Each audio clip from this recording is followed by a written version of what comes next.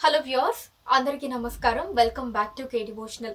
Hindu దేవతలలో ఒకడైన అయ్యప్పను ధర్మశాస్త్ర మరియు హరిహర సుతుడిగా పిలుస్తారు. అయ్య అంటే విష్ణువు అమ్మ అంటే శివుడు. అంటే విష్ణు మహేశ్వరుల కలయికతో జన్మించిన వాడు అయ్యప్ప. మహిషి అనే రాక్షసిని సంహరించడం కోసం హరిహర సుతుడు భూమిపై అయ్యప్ప స్వామిగా అవతరించను.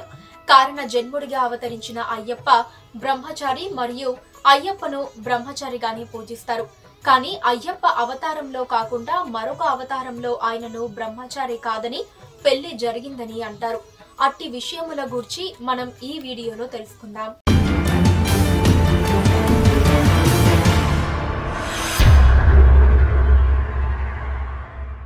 స్వామి పెళ్ళి మాట ఎత్తగానే ముందుగా గుర్తుకొచ్చేది మాలిగాపురత్తమ్మ.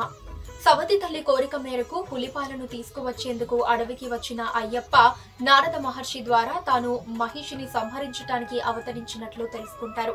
ఆ అడవిలో ఆకాశ మార్గాన గర్జిస్తూ వెళ్తున్న మహిషి మణికంఠుని మీద దాడి చేస్తుంది.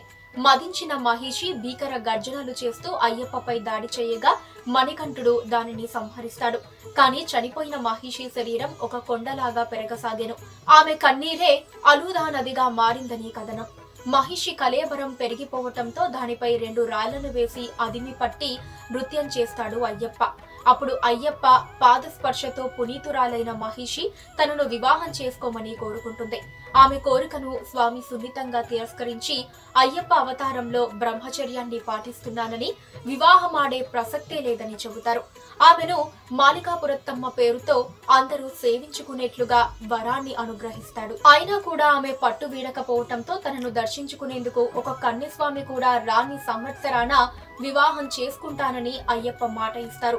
అందుకే కన్యస్వాములు ఎరుమేలు నుంచి శరాలను తెచ్చి తాము వచ్చిన దానికి గుర్తుగా శరంగుత్తిలో గుచ్చుతారు. ప్రతి సంవత్సరం మాలికాపురత్తమ దేవి అంబారి ఎక్కి శరంగుత్తికి చేరుకుని అక్కడ కన్యస్వాములు గుచ్చిన శరాలను చూసి నిరాశతో వెనుదిరుగుతుంది అని అంటూ ఉంటారు.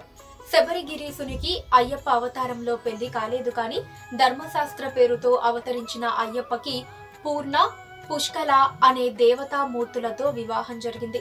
సత్యపూర్ణుడు అనే మహర్షి నేత్రాల నుంచి ఉద్భవించిన పూర్ణ పుష్కల అనే ఇద్దరు యువతులు ధర్మశాస్త్రను వివాహమాడాలని నిశ్చయించుకొని భక్తి ప్రవత్తులతో అందుకు తగిన వ్రతాన్ని చేసి స్వామిని భర్తగా పొందారనేది పురాణ కథనం.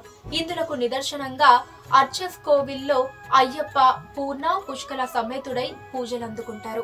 ధర్మశాస్త్ర అవతారంలో పూర్ణ పుష్కల అనే ఇద్దరు దేవేరులతో పాటు సరస్వతి అంశంతో ప్రభావతి అని ఇంకొక భార్య కూడా ఉందని వారికి సత్యకస్ అనే పుత్రుడు ఉన్నాడని పురాణాల్లో చెబుతూ ఉంటారు.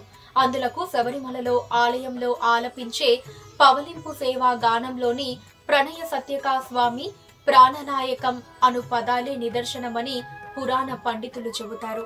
కానీ వైదిక ధర్మం ప్రకారం భార్య అన్న శబ్దానికి అర్థం మహిళ పక్కన ఉండటమే భార్యత్వం కాదని మనల్ని ఆశ్రయించిన శక్తి మనతో ఉండటాన్ని స్త్రీ రూపంగా సంకేతిస్తారు. పూర్ణ పుష్కల అంటే అయ్యప్పకు భార్యలు కాదు ఆయనకున్న శక్తులు. ఆయన వద్ద రెండు గొప్ప శక్తులు ఉన్నాయని అర్థం. అవే పూర్ణత్వం పుష్కలత్వం. పూర్ణత్వం నిండుగా ఉండటం అది ఏంటంటే ఎంతమంది వచ్చినా ఇచ్చేంత పుష్కలంగా ఉండటం అని అర్థం. ఇలా ఏం కోరుకున్నా ఇవ్వగలిగిన రెండు శక్తులు ఉన్నవాడే పూర్ణ పుష్కల సమేతుడైన అయ్యప్ప. సో చూసారు కదా వ్యూయర్స్ ఇలాంటి మరిన్ని విషయాల గురించి తెలుసుకోవాలి అంటే మా ఛానల్ని తప్పకుండా సబ్స్క్రైబ్ చేసుకోండి. అలాగే ఈ వీడియో మీద మీ అభిప్రాయాన్ని నాకు కామెంట్ చేసి ఈ వీడియోని లైక్ అండ్ షేర్ చేయడం కూడా మర్చిపోకండి.